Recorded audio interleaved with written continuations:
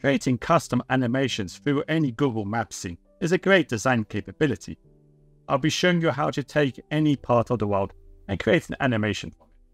This video follows on from a previous tutorial on Google Maps tile streaming.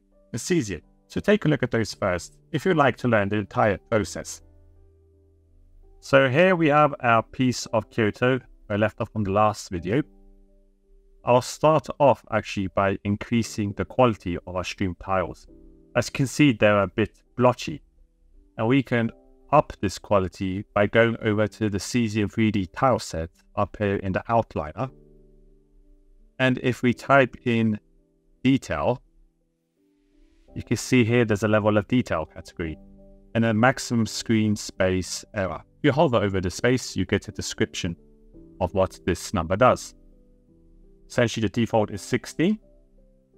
But if you reduce it down, it will increase the detail. However, it will greatly increase computation. I found that a number around 4 works well in here. You just have to give a few seconds to reload the tile set, and you'll greatly see a difference in the quality. You can also then go over to the burger menu up here on the top left, and you can do a high resolution screenshot just don't set the size multiplier too high, or it might crash your driver if there's catch up.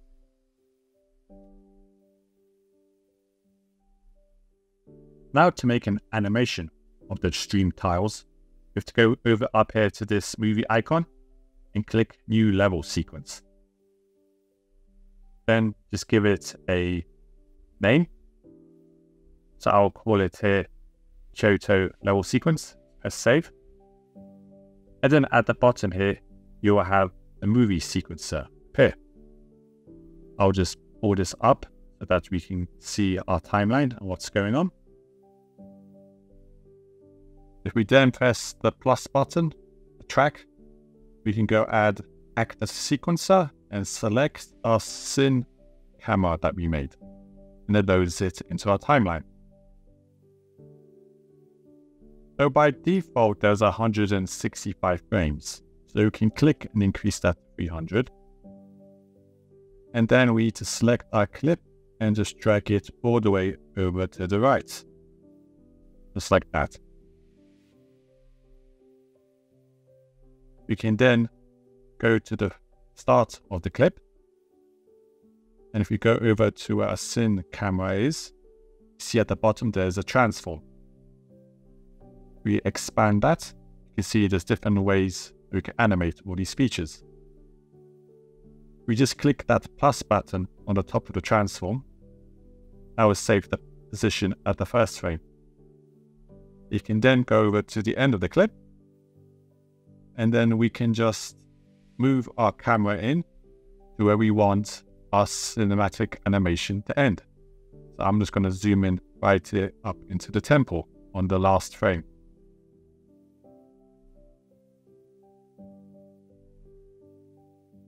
And I'll just then click the transform button again key in this frame. And if we click play, you can see the camera being animated along the 300 frames. So using this keyframing method, you can set any of the other features. It could be within the rotation, location, or it could be other camera components such as the aperture or the focal length. So you can change it either by moving the camera like I did here manually, or you can just adjust the numbers on the side here and keyframe them in. For each camera animation, you'll make a separate sequencer. And once you're happy with the clip that you made, you can go up here to this movie clapper icon and then the movie render queue will appear. If this doesn't appear, you can just go to plugins and then install the movie render queue. You'll see that the sequence that is active will appear as a job. Otherwise, if you click the render button, you can add in another sequencer and you can go to the settings and change the configuration. So here there's a few things we'd like to do. First is get rid of JPEG and then you can add a PNG sequence, get a higher image output. Then we will add some anti-aliasing to increase the quality. If you don't know what anti-aliasing is, you can go over to the Unreal Engine documentation. But basically, it is the number of samples used to produce a final frame. So the higher the sample rate, the longer it takes to render, the higher the quality. And there's two types of sampling. Essentially, temporal sampling, it is used for motion blur. So if you have a lot of action, it's good to have this higher. And then the other type is the spatial sampling, which is essentially the opposite, when you don't have as much motion blur. And these two work together by multiplying each other. So if you have a higher temporal sampling number, it will be multiplied by the spatial sampling.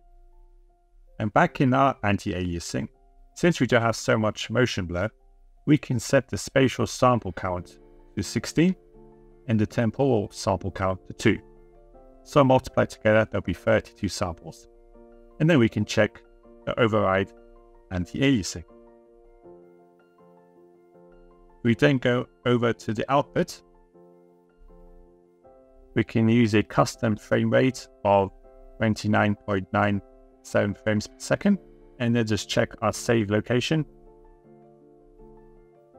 You can then click accept and then render local. After some time, it will all save out into a folder. So we have a PNG sequence all of our frames. And this can be dragged into any video editing software and combined together to produce an MP4. And with that, you can render out as many animations as you like from your own streamed Google Tile Maps. You can piece them together within a master sequencer, or you can do individual sequences like here and put them together in your post-processing software. Hope this video was useful and let me know if you're interested in any other specific tutorials on the Unreal Engine.